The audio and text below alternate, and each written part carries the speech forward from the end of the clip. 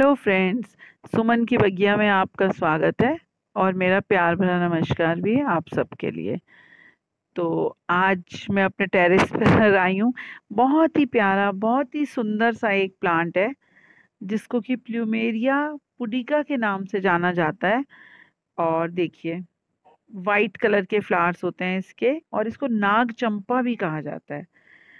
बहुत प्यारा लगता है, लेकिन जो दूसरा नॉर्मल प्लूमेरिया होता है, उससे और इसमें सिर्फ़ इतना सा ही डिफरेंस है कि इसमें जो खुशबू नहीं होती और उस प्लूमेरिया में खुशबू होती है एल्बा में। वो भी मैं आपको अभी दिखाऊँगी। और ये तो इतना प्यारा लगता है कि इसको ब्राइडल बुके के नाम से भी जाना जाता है।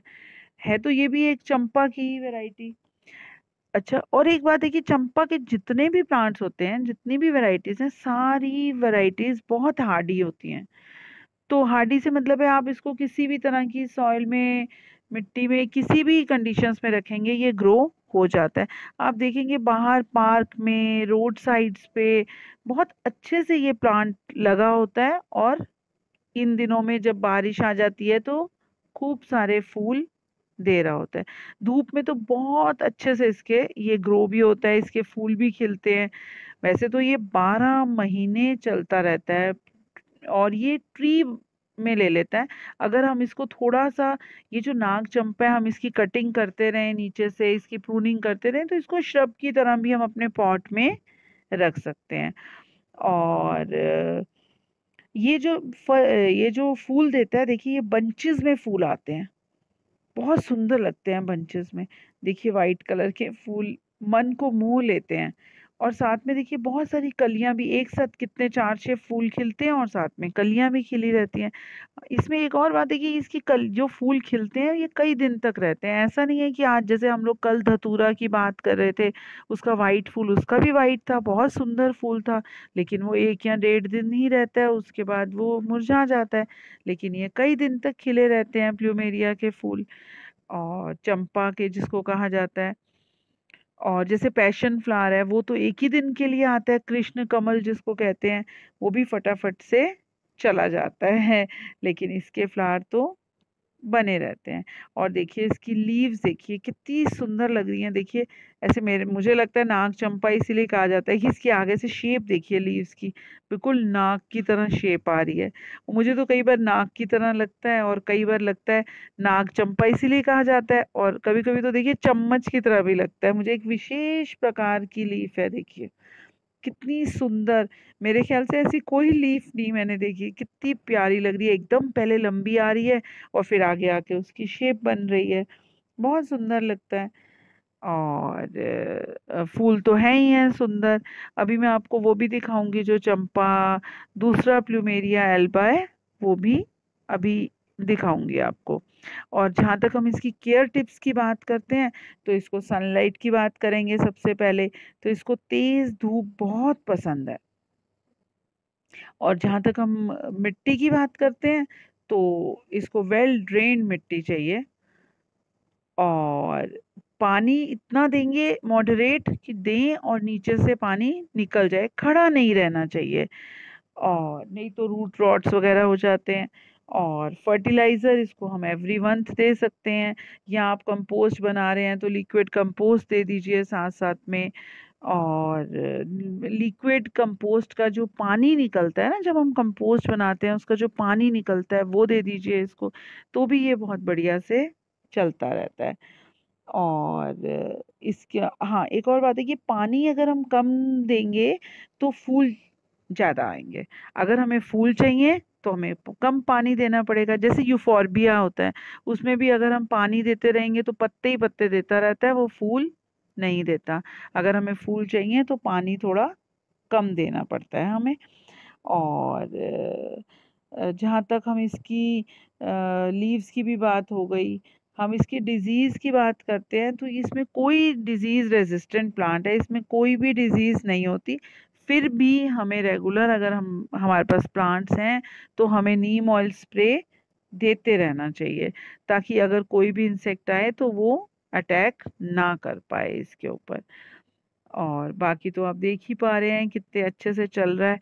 और मैं आपके साथ इसकी प्रोपेगेशन की भी बात करना चाहती हूँ, कि इसकी प्रोपेगेशन जो है, वो स्टेम कटिंग से बहुत इजीली प्रोपेगेशन इसकी हो जाती है। और अगर हम इसकी स्टेम को जैसे अभी तो इसकी एक आ रही है स्टेम, अगर और आ रही है, उसको हम कट करके और अपने पॉटिंग मिक्स में लगा देंगे तो इजीली ग्रो हो जाती है। और अभी तो फूल ही बहुत सुंदर लग रहे हैं इसके।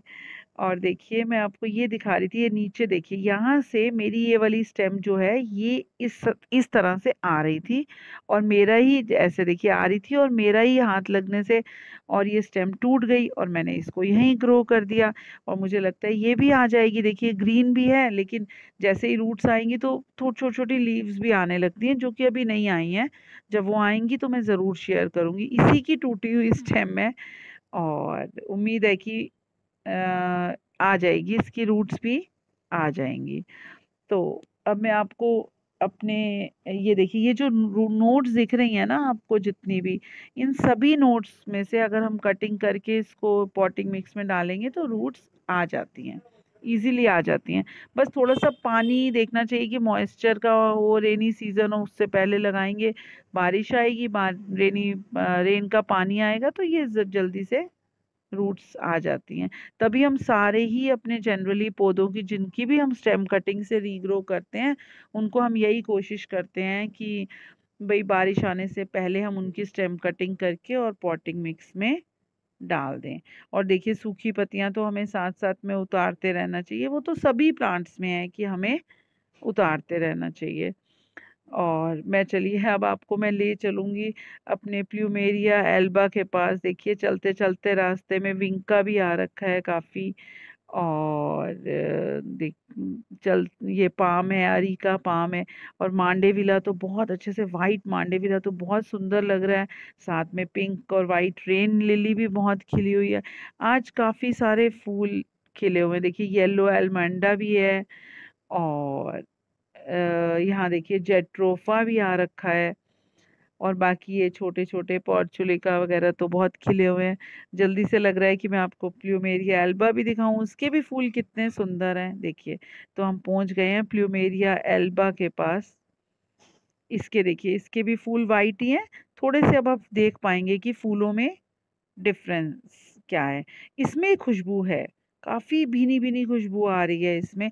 और ये वाला आप आम देखेंगे रोड साइड्स पे लगा हुआ है और इस इस सीज़न में तो खूब अच्छे से फूल दे रहा है।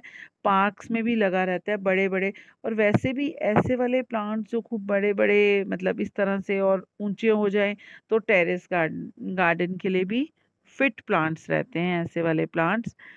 देखिए कैसे गुच्छे में इसमें भी फूल आते हैं।